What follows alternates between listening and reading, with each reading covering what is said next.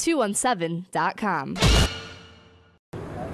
Artists Against AIDS is the largest fundraiser that happens annually. This is our 17th annual show uh, here in Champaign, and it raises money for the Greater Community AIDS Project, which is an organization here in town that uh, provides services and goods for people with HIV/AIDS in their region.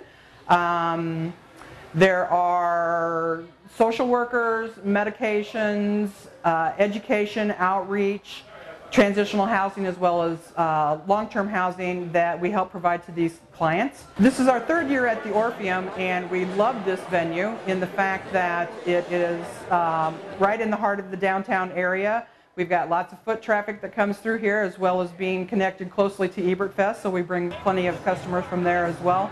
Um, the Orpheum Auditorium had sat empty for so many years and when we were able to take a look at the space and see the possibilities of being able to have an art show here, we, we couldn't believe that we were going to be um, fortunate enough to get it, and we have, and um, hopefully we'll be back again here next year. That's our hopes, and uh, we couldn't have asked for a better space. It's just very colorful and so rich in history.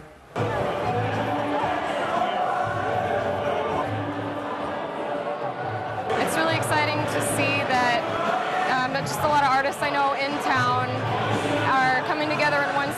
for a charity, and everybody's packed with people. It's a beautiful space, and yeah, it just seems like everyone's having.